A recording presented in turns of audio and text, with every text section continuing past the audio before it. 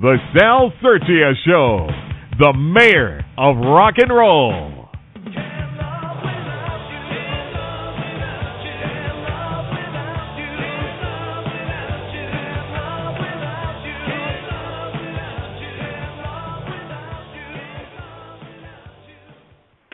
Hey, folks, how we doing out there? Welcome to show number. Is this 16 or 17? Man, I don't. Now I'm losing track. I think Joanne, do you know if this I think is it's 16 or 16. 17? 16, right? I Yeah. better start writing it down on paper. I'm trying to memorize it. I better write it down on paper from now on. You know. Yeah. So, uh, how you doing, Joanne? You all right? Yeah, I'm doing pretty good, thank you, Sal. Yeah. Hanging loose like a long-haired goose. Like a long-haired goose. I love the way you say that. That that always cracks me up. That's funny, Sal. Tonight we have an incredible guest. You know, I mean, uh, I've been getting a lot of uh, emails and phone calls and people who are telling me that that's their favorite uh, actor on Oz and in general. You know, you've heard of him, Anthony Chisholm, right? That's right. Well, I just I- we just I talked on the work. phone with him for.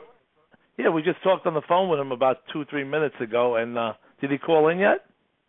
No, not yet. Uh, maybe he had to run to the bathroom, or who knows? Maybe him and Michael Wright are uh, eating some spaghetti, and his Yeah. mom was there. Michael Wright's mom was there, so it's probably just hanging loose.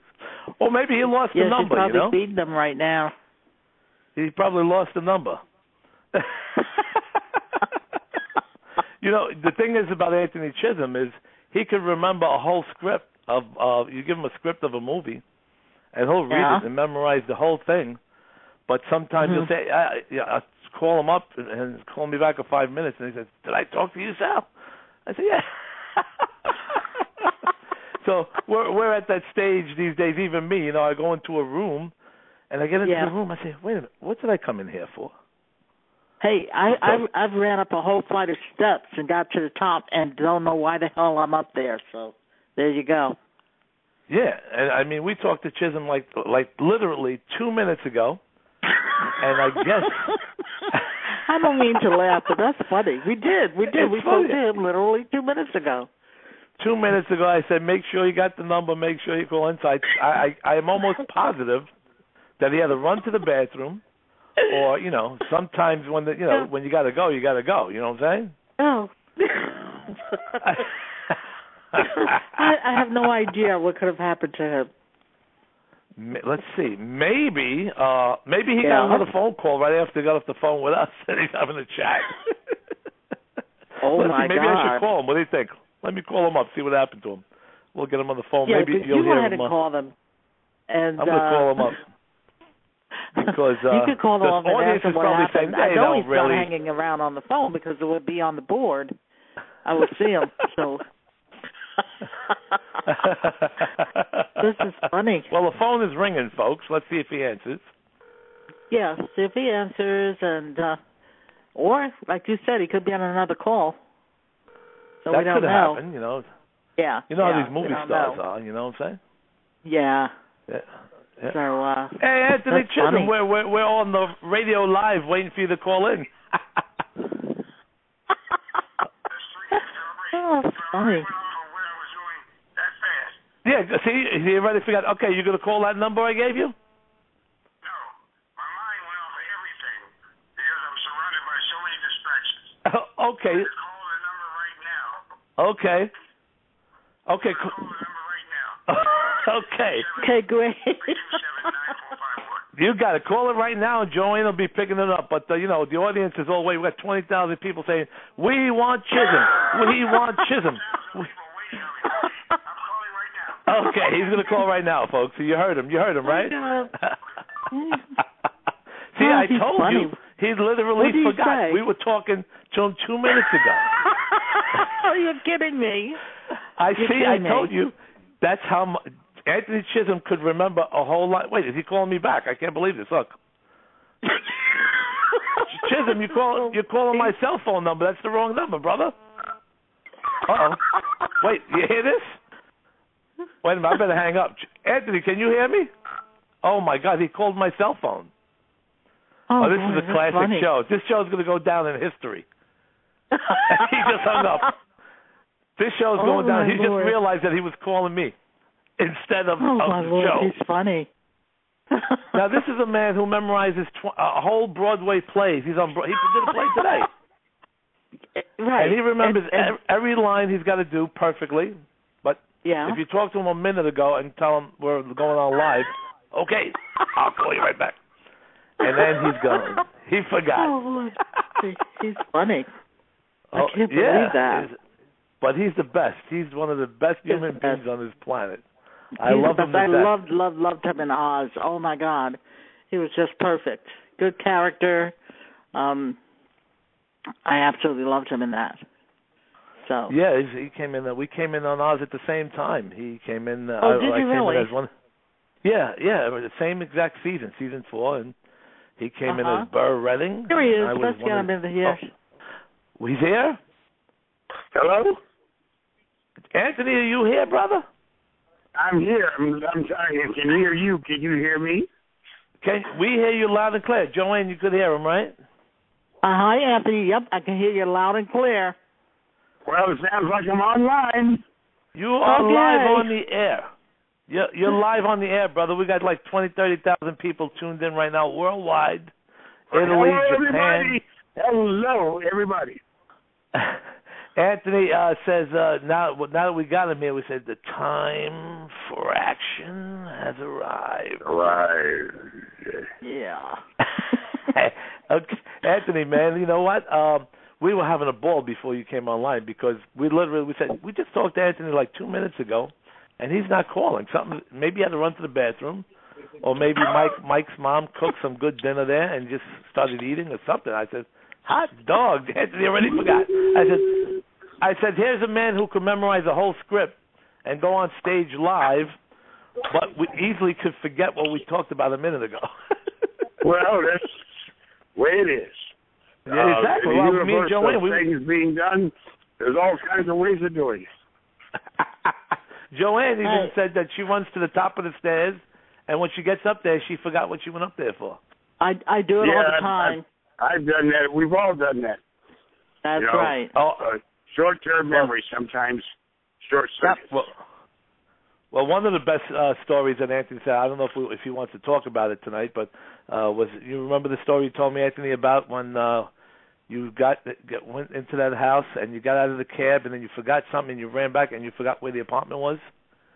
I don't know if you want to talk about that. Oh, that was a, that was that was back uh, when I was driving a cab in the seventies. hmm Uh, it was a snowy night, uh, way past midnight, and a Latin club was letting out. There was a crowd of people in the street all waving for a cab, and I was driving a cab at that time. I drove for six years from '72 to '78, and um, I picked up this beautiful Spanish girl, Latina, and we took off to the South Bronx, to the Bronx, as she was in the cab with me. And uh, while we were riding, she got very familiar. Well, when we got up to where she was going in the Bronx, uh, she said she didn't have the money on her, and that I would have to come up with her uh, to the um, apartment. And I double parked my cab with blinkers on and went up with her.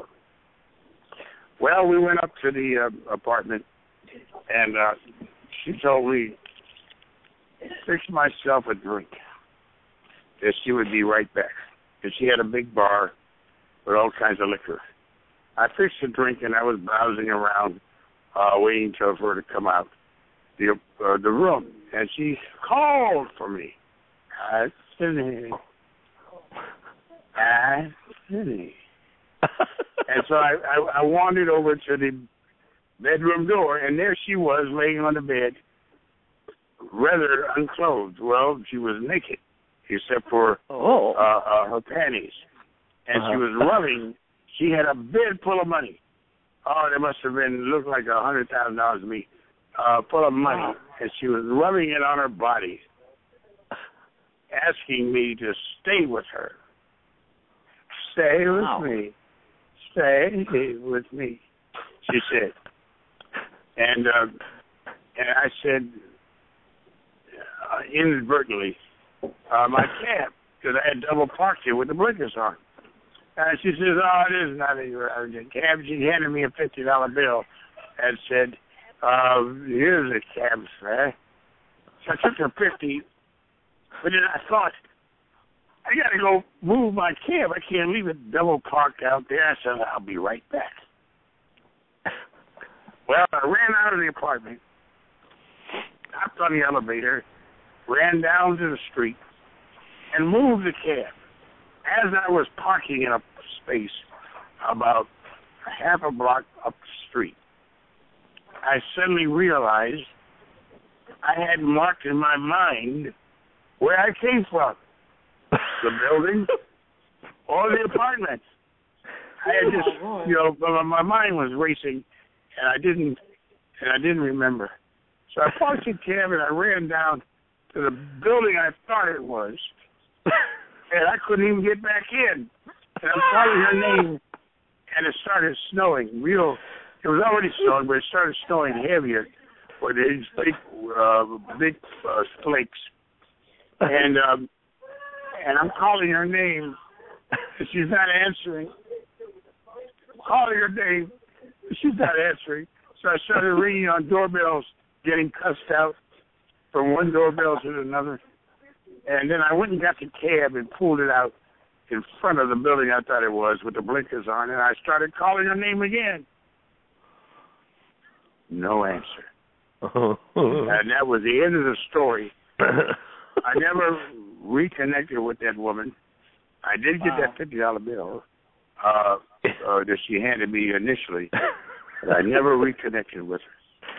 Wow. Anthony, that that's I never forgot that story when you told me that, and that's one of the most classic stories. I mean, here you are, you drove her all the way to the Bronx. I mean, this could be this could be a movie, man, a comedy.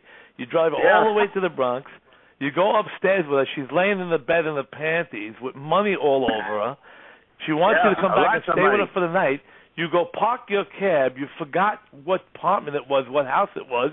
So you didn't get her. You didn't get the money, and you didn't I get got the, the cab I, fare. I ran off with the fifty dollar bill she handed me. Oh, good thing for that. At least, at least you got paid for the cab fare.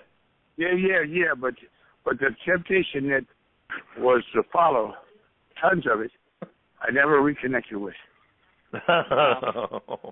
That's one thing. But I, that's a- I am sure right now all these all the people who listen are in stitches laughing with that story, but that's a classic, Yeah. man. I mean, Yeah. you know, that just got I, that's just I a can tell you a lot of cab stories that I drove for Now- six now- years. Now you were driving the cab, Anthony. That what, what year was that? 1972 to 1978.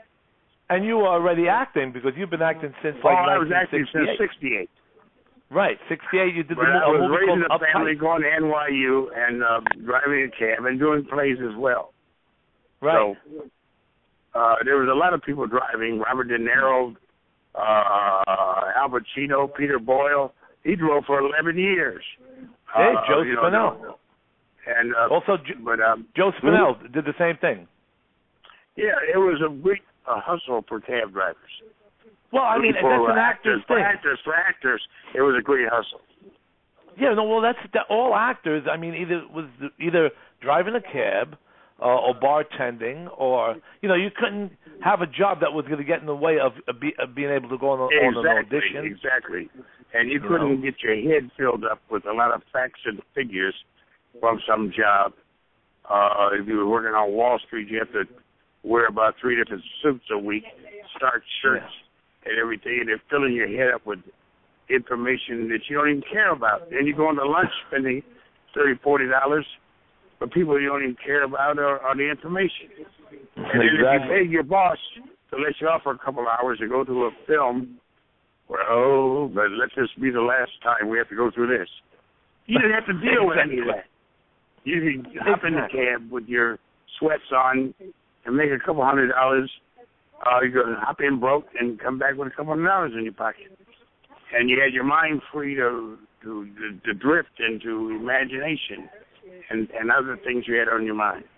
Right, right. You're 100% right because you can't, you can't, you know, those kind of jobs blow your mind as it is, and then try to memorize Oh, yeah. lines or scripts. You know, You you can't can't even think it. about your dreams. You because you're thinking about all this crap they're they're loading your head up with.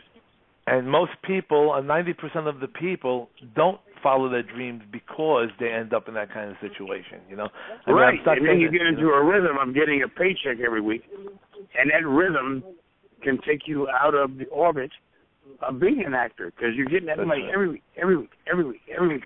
You're getting the money, so that has a, a play on your subconscious as well. So the last job I ever worked was in 1981. I managed uh, twin movie theaters on 59th Street, around the corner from Bloomingdale's, between Second and Third. I did it for ten And- months, and I And hated you it. and, in 1981, you did that movie called Death of a, a Prop. What was it called? You were with Denzel yeah, yeah, Washington. that was that's was proper with Morgan Freeman and a Morgan bunch Freeman, of that's right. He played Malcolm X. The last day of his life was a story of Malcolm. The last day of his life, and it tracked him from his uh, house, saying goodbye to his family, to the Audubon Ballroom, where he was assassinated. And in in between it, it cut into the guys that assassinated him. You know, I played a Yeah. cop in it. You know, I had Yeah, I two seen it. lines in the precinct uh, after he had been killed. But uh, 1981. Yeah, I want to tell the and Morgan audience didn't even listening. change his hair, huh? Yeah, I he still looked exactly the same. He still looked the same as he did then and now. But I want to tell Morgan Joanne was and the wearing audience a big that Jerry curl hairdo, and he didn't change it for the part. He didn't get a, a Malcolm X haircut or, Uh-huh. or any of that. He played it, and and I thought it was an anachronism of Malcolm when he used to be Malcolm Little. You know, it just uh, a flashback, and he became that. He became Right. that in the in the movie. right, right. I, anyway. I've seen the movie. Yeah, okay, I got a copy of it at home. What he came What I right want to to what. I want to tell the audience, I, I'm not. Uh, uh, don't mean to interrupt you. I want to tell the audience that's listening, and also Joanne, that uh, Anthony Chisholm was in classic movies like Cotton Comes to Harlem. I'm sure you've heard of that, right, Right. Joanne? That's right. Uh, and Yeah. also, also, yeah, Cotton Comes to Harlem. Did you ever see that, Joanne? I've seen that. Yes, I have. I'm very Calvin- familiar with uh, Anthony Chisholm's work. He is a Calvin phenomenal Lockhart actor. played the villain, uh, Reverend Deke O'Malley. He's a handsome Uh-huh. guy.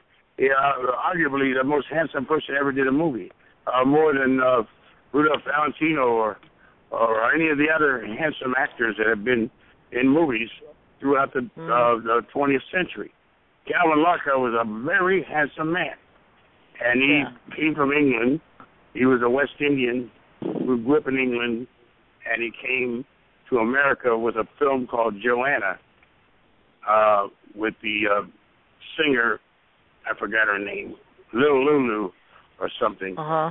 and uh, and um, and um, he got a lot of press, and he came into New York in the late '60s, introduced, uh, and he started getting movie roles, and he was very handsome.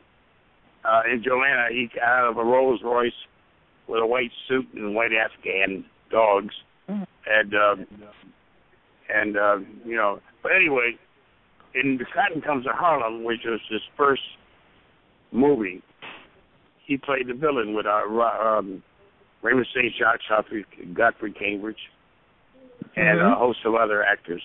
And uh, he was preaching to the people on the platform, trying to raise money to go back to Africa for everybody. And, and he was raising money, but he was really, was really, uh, was really uh, um, scheming to have the the the the, the um, fundraiser robbed, which he was already in on. And uh, and so I came up to the platform out of nowhere. A DA's man flashed a badge and said, "Oh man, O'Malley," and he said, "Yeah, what is it?" He said, "The DA wants to see you downtown." And he says, "Well, I'm busy." And I said, "Right now." But actually, I was just an imposter. uh, to squirrel him away from uh, the scene before the robbers came to rob all the money and who he was in cahoots with. And he says, Well, I'm busy. I said, Now, right now.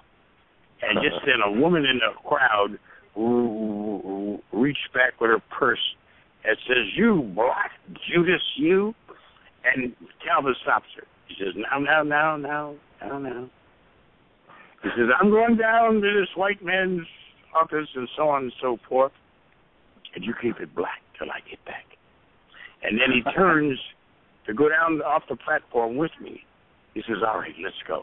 And we're going down the platform when the robbers pull up in a van and the back doors open up and four or five robbers in jumpsuits and hoods and goggles, orange, leap out with shoot machine guns and they start shooting up the place.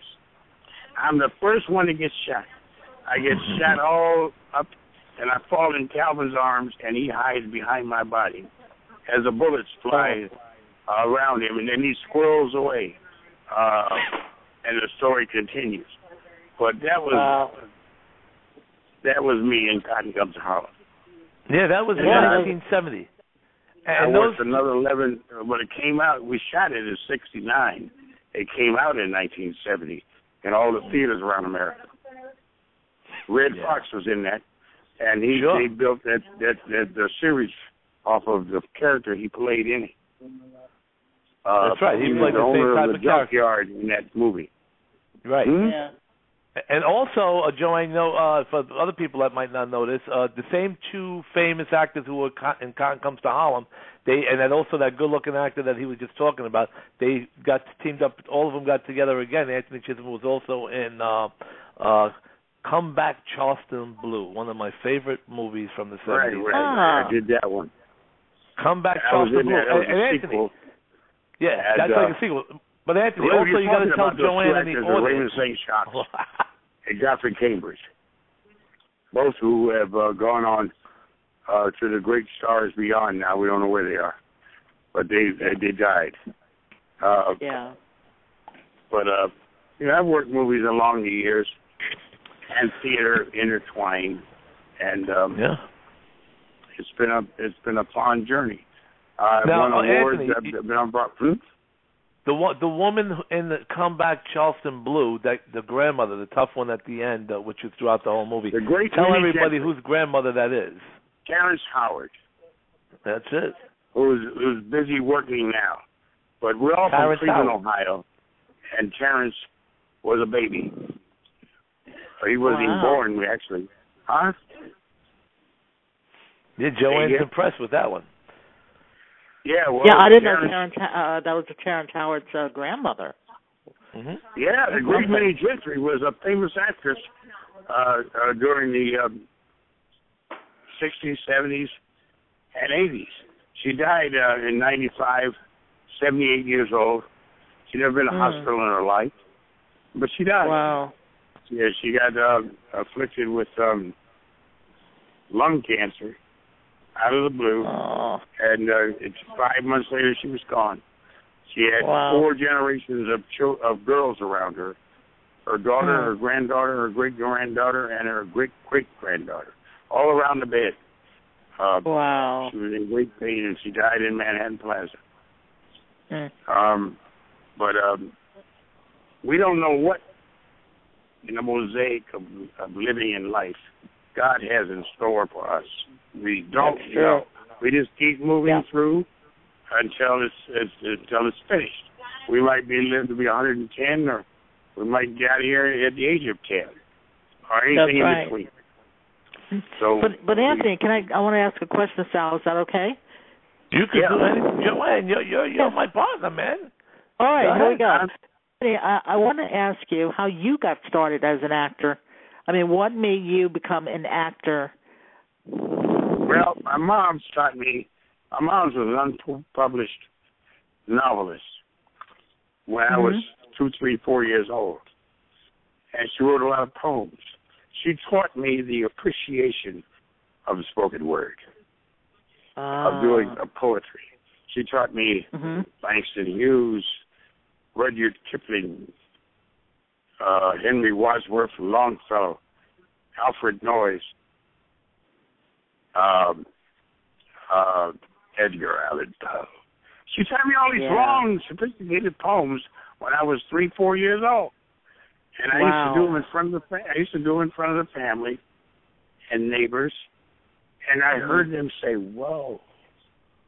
And somehow that stuck in my subconscious that I had affected people with words that came out of my mouth. And I would say, whoa, after they say, whoa. And they say, whoa. I say, whoa. They say, whoa. I say, whoa. So I, um, I, I, that stayed with me because I'm here to tell you that things Yeah. we learn and do at age two, three, four years old Mhm. are some of the most indelible things that we can do in our life. They stick with us. They stay deeply embedded in our subconscious. Mhm. So I didn't do my first play until I got out of the United States Army. I'm a combat Oh, Vietnam really? veteran. And um I won a talent contest for dramatic reading while I was in the Uh-huh. Army. Although I Mhm. play a trumpet, uh, flugelhorn. Um I wasn't a virtuoso on an instrument. I played in the band and orchestra from age 12 to, to 19. Oh, okay. But uh, I knew there were virtuosos that played the violin and piano like geniuses, and I didn't want to go up against them. But then I saw a category called dramatic reading. I said, "What is that about?" HLS poetry. I said, huh? "Mm-hmm. Poetry. Your poetry." Yeah.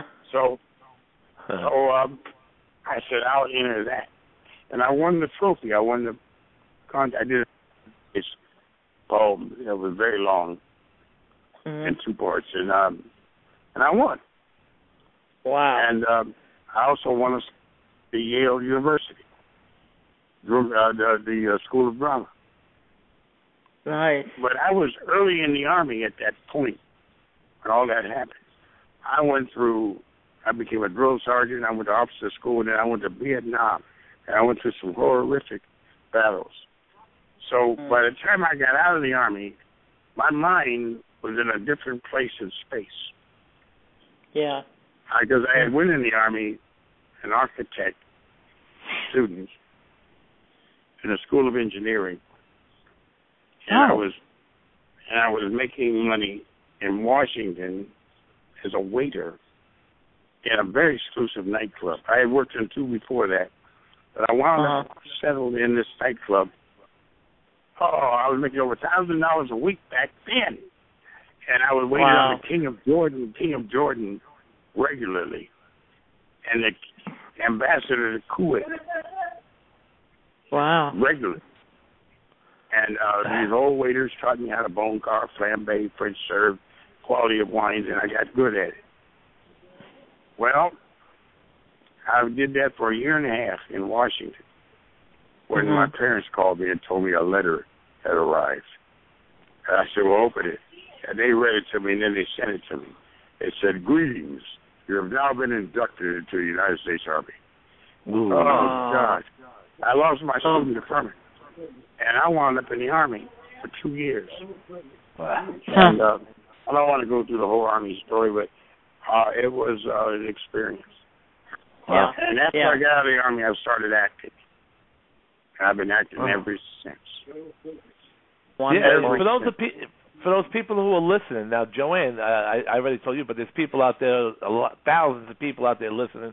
And if you hear, if you notice, how Anthony Chisholm is talking, in the background you hear some people talking. I just want to let you know that Mike, uh, that uh, Anthony Chisholm right now is hanging out at Michael Wright's house, and Michael Wright's mom. That's who you hear talking in the background. Michael Wright is also an incredible actor. All right. Uh, Michael Wright is Yes. from uh, from uh, Oz as well. Oh, he he- played Omar White. He's done a lot of movies, done a lot of movies. Really, Yeah, the he was Sugar- on the Sugar Hill. B when he was in his early 20s. And uh, Yeah. he did a Five Heartbeats, which is a classic movie. Uh, Yeah. he Oh, was he's a right on the uh, he's right on the cover of the DVD. Michael Wright on the Five Heartbeats. He was the tragic lead of the story of five singers, uh, four or five singers that uh, that uh, were like the temptations of their time, and it's a whole story of of these uh, singers and their relationships. And uh, Michael was the one they kicked out of the group because of substance abuse, and then they track his story, and then coming back with them. Uh, there's Yeah, a lot Michael, right. going on in that story, but uh, uh, He's in a lot of stuff. Yeah, Yeah. you can reach it on on um, Amazon or, or or it's called the Five Heartbeats. But later on, years go years later, after you'd done a dozen or two of movies, we wind up on the same TV series together called Oz on HBO. Well, I never heard of that show. What's that? Oz? Did you say? well, that's a show that I met you on, and and we had a wonderful time. I was on it for three years every week, and uh, Yep. Michael was on it the same length of time, playing an inmate, and uh, we had a wonderful time. Uh, that show could have ran for 20 years. Uh, It could could have, and, and I was I was saying to Sal, why the heck did it end? I was so much into that show, and then poof, it was gone. I was Well, standing next to the creator when he says, "Well, I'm shutting it down," and I Yeah. said, "What?"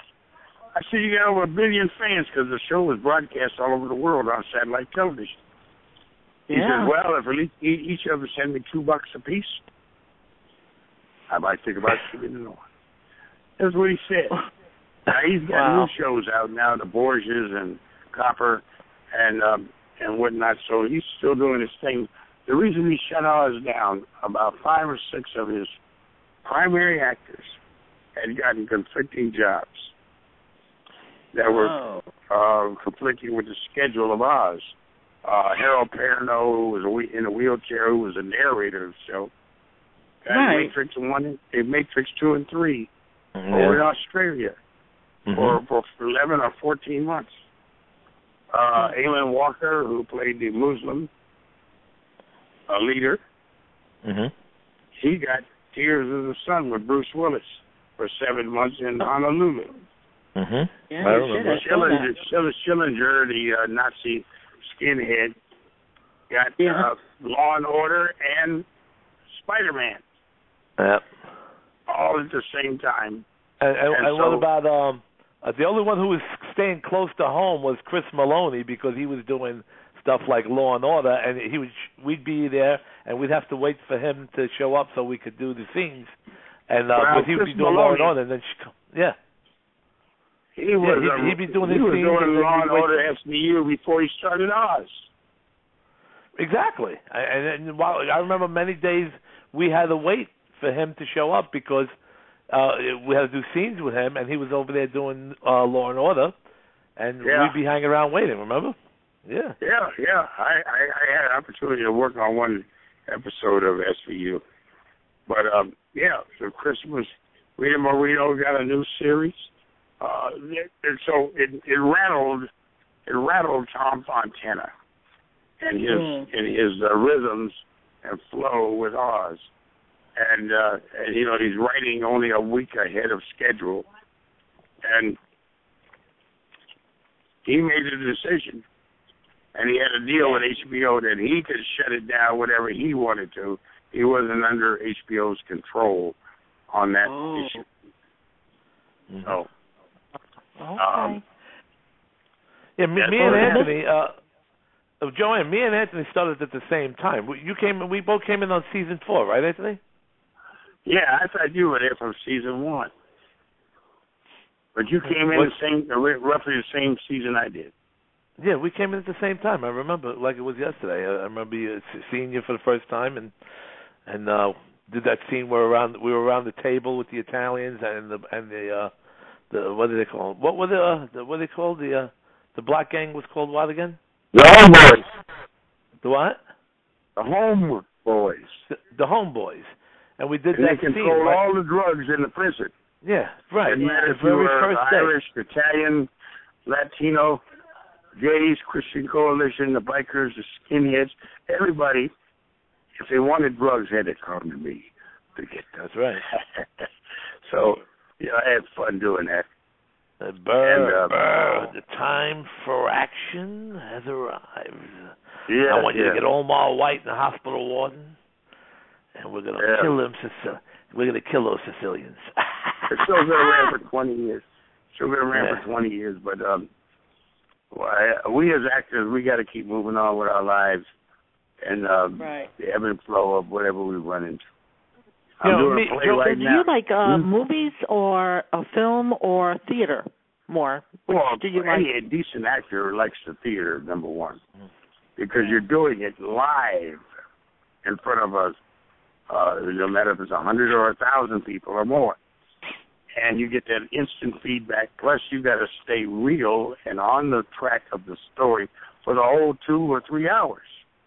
That's it's not like sitting in a trailer waiting to do ten minutes or or two minutes of a scene. You got to be real and ride through the whole story from start to finish. Yeah, you have to be in Uh, the moment means- every every every time. Also, right, Anthony? There's no Because cut I had- I was, it uh, again. When you go in front of the people, you got to stay in front of the people until the story's over. Right. and and um that that feeling where you you design your emotional roadmap for the story, you learn your lines, and then you take off into the story. You're riding through that story for two to three hours, nonstop.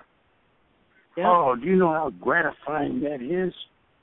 In front of a thousand people, you don't Mm. Yeah. get that kind of you don't get that kind of um satisfaction doing a movie or TV because you're sitting in your Right. trailer waiting to do five minutes. Yeah. You know what I'm saying? And they may cut and and, and do it again ten times. There's You know, no Joanne- comparison. There's no there's no comparison. And I tell you that, and also because I, I tell you, when we were working on the set of Oz, me and Anthony and everything, whenever Anthony Chisholm did his scenes, I would watch, and Uh-huh. it didn't even seem like it was acting. It it felt like it was really happening. That's how amazing Anthony Chisholm is as an actor, and Wow. that's how he is on on the plays on stage. So real. Mhm. I mean, everybody on Oz were very good actors. Everybody's a great actor, but something about Anthony Chisholm. It, it, you ask any actor on Oz, some of the actors said, "I think Anthony Chisholm is the best actor around." So I mean, Wow. even I remember Johnny Palumbo. You remember Johnny Palumbo, right, uh, uh, Anthony? Johnny, Johnny Palumbo. Uh, so man, I think. uh, yeah, yeah, he was yeah, one of the yeah. Italians. He said, "I think uh, Yeah, Anthony's yeah, one of yeah. the best actors." You know. So well, that's the that comes thing I from the theater is too. You you you you- you have your own barometer inside your body. You can tell truth from fiction through that barometer in mm. your body. If you don't believe Yeah. it, how do you expect anybody else to believe it? That's right. Right. You got to That's right. believe what you say. Right. And Exactly way right. That's what you know- makes it real. Yeah. I, I just want to ask I- something well, real quick, Joanne. We don't. Do we have to do a commercial tonight? Because the show's going so fast. Or could we just go do the No, show without no, any commercials? Well, we're good. Beautiful, beautiful. Because there's so much stuff that we haven't even got. It's close to. We haven't gotten close to Anthony's plays, and this hour is flying bl- by. And uh, Yeah. you know, he also uh Chisholm was also in the movie. um What was it called? Uh, with with uh, oh Whoopi Goldberg. Wait, don't tell me. It's in the top of my. uh I, Beloved was it? Beloved. Was that with yeah, the? she wasn't in with the- Beloved. She was in, Whoopi was in uh, Color Purple. Color Purple. No, with the, Danny the, the movie with uh, what's in her name? O- Oprah. With Oprah. Oprah Winfrey. I Winfrey. was that's Beloved.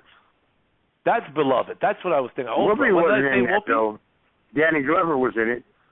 Well, you Oprah did was Yeah, in. Danny Glover, not Whoopi. I was in it. Right. That's Anthony right. and, and and Danny Glover have a nice scene in that movie, and uh, and uh, oh, uh, you know, uh, Oprah Winfrey was the star of that one, right? Yeah, Yeah, she And, and. Danny Glover. Anthony, what did you think of that movie, Beloved? I mean, it got a lot of Hmm? controversy, but what did you think about it? I'm sorry, say again. No, I, I was wondering what you thought about the movie Beloved. Um, how did you feel about doing that movie? Because uh, it, it was said, let's see, the writer was, uh, good is, I forget the name of the writer, uh, her name. Um, Toni Morrison. Toni Morrison uh, made a statement that that wasn't exactly the way she portrayed the the book, And um, well, it's hard to, yeah. to, recreate the way she portrayed that book because it was a very complicated book.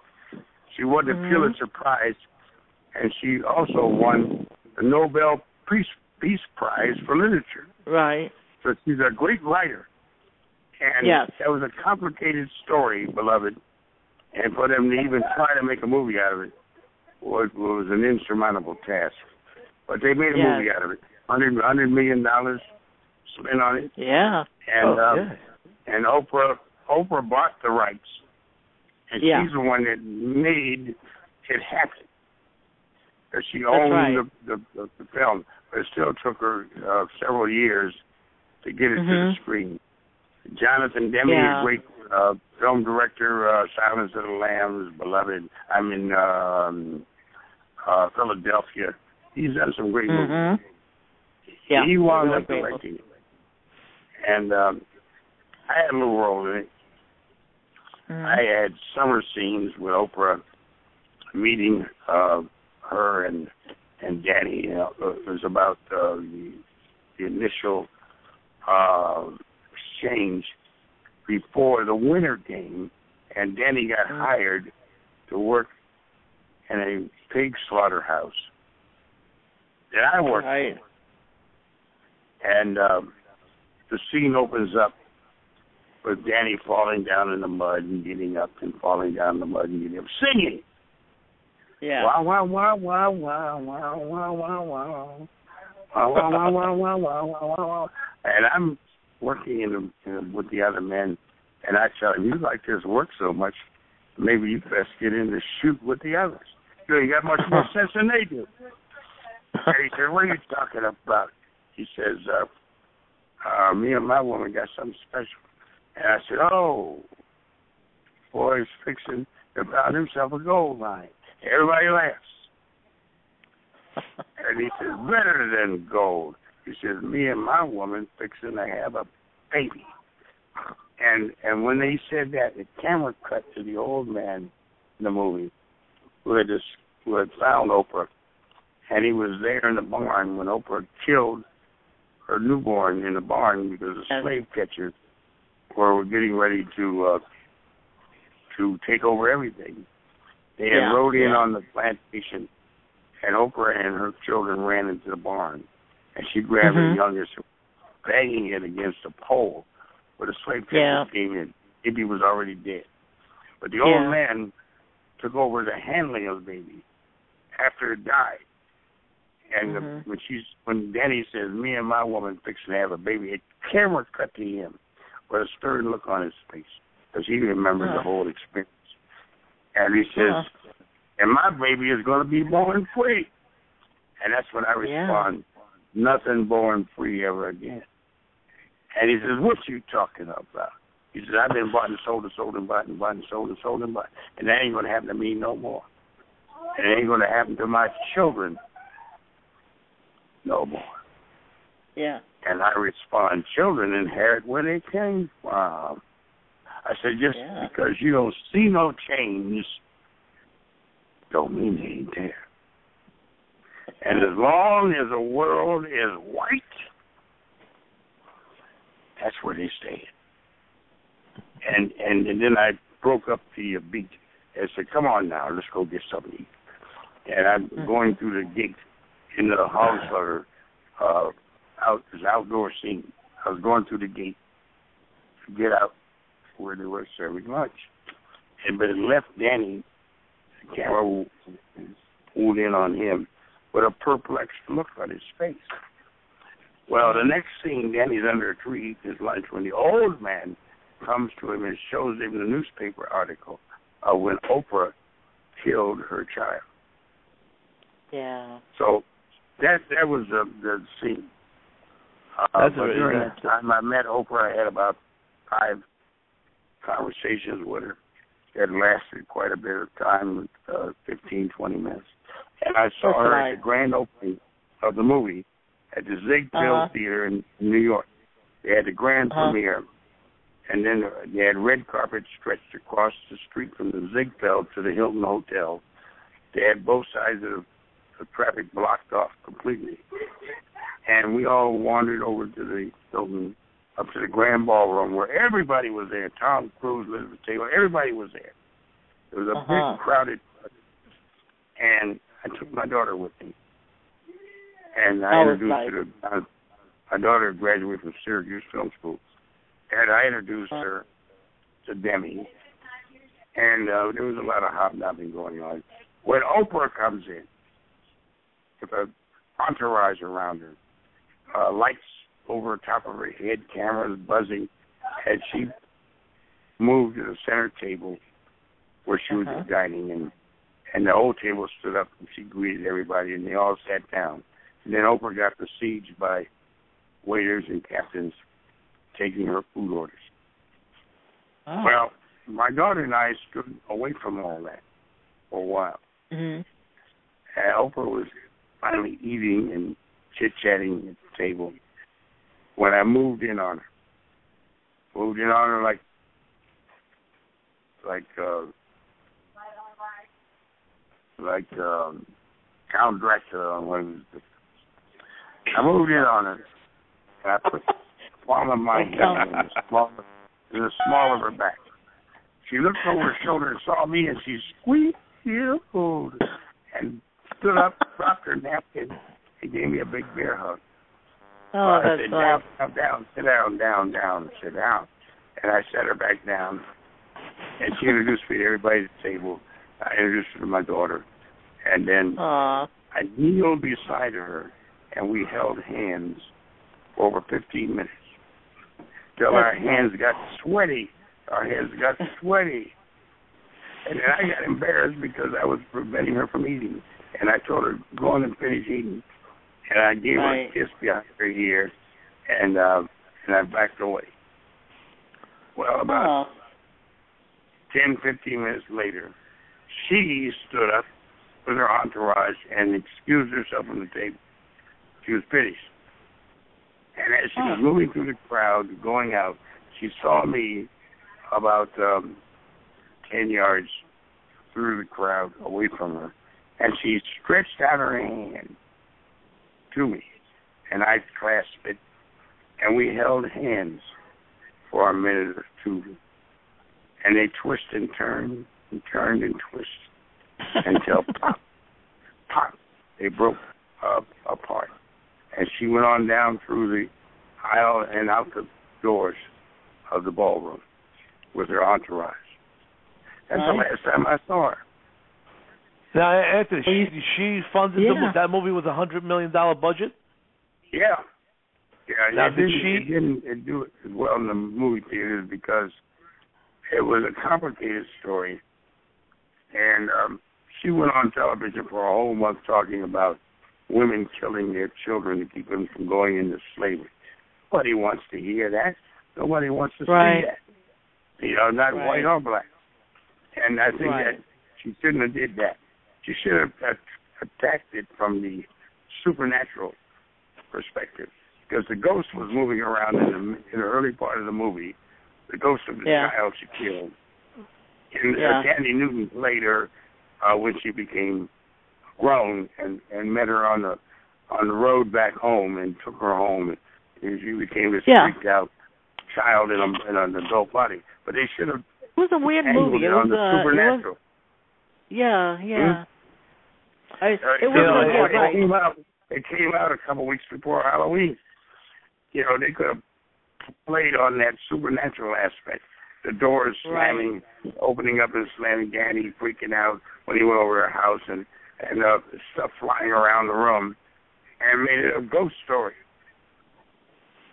Yeah, it started off that way. When I, when I I saw that movie when it first came out, and at, at that beginning scene, it was it was just as well as like a horror movie. It was a, it was freaky. Well, they could have sucked in millions of dollars of the public's money by advertising it that way, instead Yeah. of hmm uh, mothers killing their children. Yeah. Uh, you know, keep them from going to slavery. Nobody wants to hear that. No. And so, in the marketing um, uh, scheme of bringing that movie forth to the public, it would have been better to advertise it as a horror story, a ghost story. Now, did she funded the whole movie, Anthony? She funded it. Well, I can't say that for sure because I'm, you know, I'm not privy to that information. But she's right, the right. one. Well, that, the only that- reason why I that asked, I got the figured maybe the she- book. Yeah. Huh? The reason why I asked is I figure it was a hundred million dollars. She probably just like looked in her left pocket that was like change left from the Well, day she before. funded the whole thing, but I don't. I don't think she did that. A left pocket invested. Well, she if she is like just as rich as Paul McCartney, I mean, man, oh man. Matter I of heard fact, she she's wrote a touching check her. Let's, out her do another movie. Could be gossip. I have Every no time idea. I talked to her, Bought a she house for twenty five million dollars and wrote a check. Mm. Uh, huh? I, Go ahead, every you time I what? talked to her, she seemed as regular as you would see her on television. oh, yeah. I'm She was sure. a nice lady, and we had I'm sure. uh, a bunch of conversations. Yeah. Now you know, Joanne. I don't know if you know this, and for people uh, uh, who are listening, after Oz wrapped, me, Anthony Chisholm, and Michael Wright all ended up doing a movie called Coalition. Right, jo- right. Uh, director Joe Areola. Yeah, yeah. And they wanted Tell me to do that the, uh, Michael's role, but I was doing a play in L.A. and I couldn't come back to do it. And I suggested Michael. And then Mhm. they wanted me to come back and do another smaller role that I couldn't even do that. And I suggested O.L. Duke. So Yeah. they wound up Rest doing those peace. roles. And I came in for a minute and played a, a preacher at the funeral of um, one of the um, Wu Tang uh, Clan crew uh, who had the lead in the movie. Mhm. But That was the way uh, Raekwon. happen. You know, you can't. Yeah, you can't predict how things are going to happen when you're in the mix of of um, life and doing things in this business. Mhm. But um, you know, I've I've worked a lot of jobs. You could start stories on each one of them. Um, one of my most Now- memorable was when I worked with a bunch of Vietnam veterans who were professional actors, and we did a play called Tracers. Tracers was um, a very special piece. Was all Vietnam combat veterans, four Italians, one Irish, one Jewish, one Puerto Rican, and myself. And we did it for seven months in New York City, and then we took it to London, to the Royal Court Theater. Joe Papp sent us over there. Then we went to L.A. four months. After we played in uh, London for four months, we did L.A. four months, and then Philly, and then we went to Australia with it. And uh, it was um, I still stay in touch with some of those guys. We were all eight of us combat Vietnam veterans, and um, the play was about Vietnam. Our opening night, Jackie O was there, Norman Mailer. Uh, uh, um, uh, there were so many people there. Um, the director, Mike Nichols, um, Andy Warhol, Grace Jones. It was a packed lobby full of of high profile people. When Joe Papp came running through the lobby, because the party was held in the lobby, and um, they held a chair that he stood up on and he started reading reviews, New York Times, New York Met. He just read about a half a dozen reviews, and each paragraph, a chair would go up in the lobby, chair would go up in the lobby. Would... So we backed away, the actors, down on the elevator, went down to the green room, and formed a circle that says, we, looks like we're in the middle of a hit. And we stayed there for seven months. And then we went around the world doing other venues with But I'll always remember that because it was something that's normally not done in, in theater. Yeah. Um, hey, Anthony, we have we have uh six minutes left to the show, so I want you to tell Oh, everybody wow. about what you've been doing now with the play with uh, uh Well, one thing I didn't and all that. in, insert, one thing I didn't insert was the years I spent with the great August Wilson, one of the greatest playwrights to ever walk the planet Earth. Matt uh, marked up here with Shakespeare and Chekhov. I did three of his plays on Broadway. I worked with him for a period of 15 years, and I did seven of his 10 plays. And Hmm. never forget August Wilson. They're doing his plays all over the country. I was a pallbearer um, when we buried him, and I knew him from 1990 to 2005 when he passed, Wow. and I'll never forget that. Uh, I could have talked for days on the plays, but you only got six minutes left. Uh, I'd rather talk No, about well, him I mean- than the, I'd rather talk about him than the six minutes we got left about the play I'm doing now. Okay, well Uh, let's but listen to that. I'm doing Let's now listen to that. is- The play I'm doing now is written by a Puerto Rican lady who won the Pulitzer Prize last year for Water by the Spoonful. She's a very gifted writer. Um, her name is uh, Quiara uh, Alegría Hudes, and she wrote a Broadway musical called In the Heights that had about a Oh, yeah. three-year run on Broadway. Mhm. I'm just I'm sorry, I don't mean to laugh, but that party going on in the background is killing me. Who's back there? Is that Michael Wright's mom and his There's a lot of people that? in this room. There's a lot of people in this room, all talking. But I'm, I'm, I'm, you know, and and um, uh, Michael is just zoned out. Yeah, Oh, yeah, what he else wouldn't is know new? what we're talking. what else is new, Well, Anthony? Michael's on now. Go ahead. Okay, go ahead. But the play I'm doing now is called "The Happiest Song Plays Last." Three Puerto Ricans, two Middle Easterns, and myself, and it's a it's a unique play. And uh, the lady uh, won those awards that I mentioned previously, and uh, we got one week left of a six week run, and um, Oh. it's on 43rd and and 43rd and 8th Avenue, right off the corner going towards 9th. The second stage theater. It's called The Happiest Song Plays Last. It's got a last. It's got a Spanish guy with a guitar on the billboard. And um And Uh, the I- lovely I Lauren the, the lovely Lauren Velez is on the play with you. Lauren Velez, Tony Plana, who who recently played um, Ugly Betty's father on the series Mhm. Ugly Betty, and um, the guy that that um, has been in all three of the plays, uh, playing Elliot, the lead character, is in this Joanne, play you, as well. you know uh, uh Lauren Velez is uh on Oz. She was the uh doctor. You know, she was a cute doctor who uh she Oh, yeah, did she a was on- series before that uh, called New York Undercover. right, She's New York also on undercover as well. And Yeah, she she was also on eight Dexter. years in a row on Dexter. Right. Eight That's years right, in a right. row on Dexter. Aha. you know, so we got to move forward with the history of. She's been uh almost 20 years on television. Spanish lady, Wow. attractive, and uh she's had three series in a row. And for Wow. those people who don't know, uh, Joanne, oh, she also has a twin sister, man. Uh, I, I, I think she came on the set of Oz one time, and I thought it was Lauren Velez. I didn't know she had a You're twin kidding. sister. Wow, I didn't know that. Yeah, her name is Lorraine. She's uh, she's um been building up her uh, credits. She was in uh Rent. Uh she took Mhm. over for uh, the Spanish girl that was on Rent.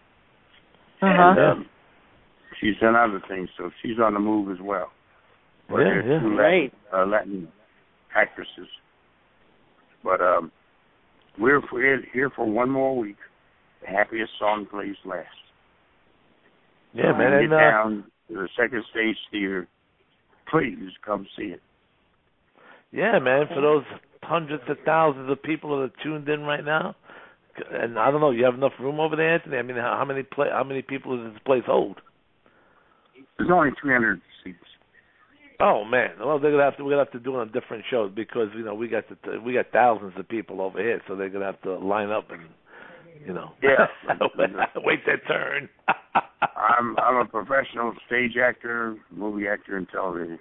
But I oh love yeah, this. everybody knows that, brother. Everybody knows Anthony Chisholm.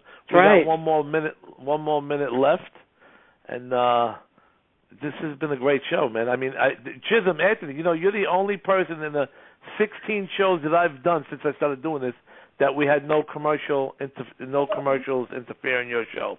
You took the Well, whole I show run off on. the you- mouth. no, no, no, I'm glad. I'm glad Yeah. because I mean, you know, you were, there's so much for you to talk about, and we didn't have we wouldn't have enough time, you know. So Yeah. uh, this I, is great. I got a lot of stories to tell, probably of dozens of hours, but I'm, yeah, I'm happy We'll to do be another on show, show. soon. Yeah, we'll Hmm? do another one. You know, we'll do another one I'd love- uh, I'd in the love it. future. Definitely, and uh All right, we're gonna we're gonna sign out, man. This has uh, been the Sal Sirchia Show with Joanne Baby and uh, the great Uh-huh. actor Go ahead. Anthony God Chisholm. bless you. You Oh, uh, too, yeah, Anthony, and uh, I think you're the greatest actor alive, and I mean that from my heart. I absolutely love watching you, whether it's in the theater or on film. Yeah. Well, uh, we all keep pushing through uh, the universe, uh, the the galaxy, and the planet Earth, and we don't know what's coming up next. All right. Okay. Hey, God Okay. bless Cheers, show, all. All right. I love you, brother. I'll talk to you later. Sound, sound, hold on, Michael Wright wants to say what, but Oh, we have any more time, Fine. Joanne? Yeah, we do. Oh, we have a little time. Okay, as long as we don't get cut off. Hello, hello, hello, hello, hello. No guns, Hello, no Wright, Michael knives. Wright. How are you? No guns, no knives. Okay. Michael Wright sounds like the Godfather. You hear him? His voice is he's like he just he just sings too much. When he was on Oz, he started singing, "I wanna be free." Don't worry about it. How you doing, brother? But now you Really? sound you sound like Marlon Brando. Like no, actually, it started to sound more like Chisholm. The time for action. That's the way I've Right. sounding ever since I've known you, Sal. Man. I know you've always had that raspy voice, man. That's why you sound like Pavarotti, brother. And as we get older, it just keeps getting raspier. How you well, doing, I'm man? just here. I'm just here. I'm looking after my mom here. She's here in my house here, so I'm just taking uh, care of her. How's mom Yeah. doing? Michael um, Wright, say hello to Joanne, man. Hello, Michael. I'm doing good. Good, good to hear that. Anyway, I'm here, and uh, uh, I've got the pleasure of having Anthony Chisholm here at my home. Yeah. How's mom doing, Mike? How's mom doing? She's doing good, and I'm working on producing a new show called um, Stitch. Yeah, about the uh, illegal organ trade. Yeah, look out for it. You know, A new when show I called- steal your hearts and your kidneys. Stitch, Oh, like a stitch. that's- that's a new show he has. He's on. Yeah, that's what I'm working on. No, that's what I'm working on producing. Yeah, and I just recently did a trailer teaser for it too. Brother Mike, I was looking at you last night, man. I was in Walmart last night, and I'm looking at the DVDs, and there you are, right in front of my face. Uh, the the, the uh, they they put out the uh, five heartbeats again, but the the new box is like the whole box is you're the right on the cover. It's all you, you know, holding the microphone. You know, they they constantly change it around. I said, look at Brother Mike, and here you are talking to me right now. Yeah, man. I mean, Walmart. That's where I belong. Hey, Sal. hey, don't knock it, man. It's a job, right? I might be working there myself soon, the way things are going. Anyway, no, I love God Walmart, bless man. I, I go to Walmart, buy my own movies in there. I had knock knock in there, man. I hear you, buddy. Anyway, Yeah. God bless you on the show. Yeah. yeah, And, one night uh, we'll have you on as a guest, brother. You'll do a whole show with me, all right? I wish you all the success in the world. Hey, here's Anthony, okay? All right, we'll talk to Anthony. We got a little few more minutes there, Joanne. All right. God bless But I, I didn't hear. you. You. I didn't hear you. We got a few God more minutes. you Another and minute. the audience. Sure. All right. You know, you know, yeah, I'm going to give you back to Anthony. Okay, brother. Nice meeting you. Yeah, okay. I'll talk to you All in a right, minute. man. All right, God love bless. you, brother, man. We'll get together soon. I'm looking forward. Absolutely, man. All right. So Okay. Cheers, everybody. Say say goodbye to your all your fans, Anthony. Uh, the time for action has arrived. Yes, yes, indeed it time- has. It's time to move into the next moment of our Okay. lives. Take care. Okay. Okay, right, cheers I'll see you all. later. Have a great one. We'll, we'll talk to you next week. Next week we have another great guest for you. We won't tell Sounds you who it is good. yet. All right. Okay, bye-bye. Yeah, all. Thank you for listening. This has been a Mathis Media Hub production.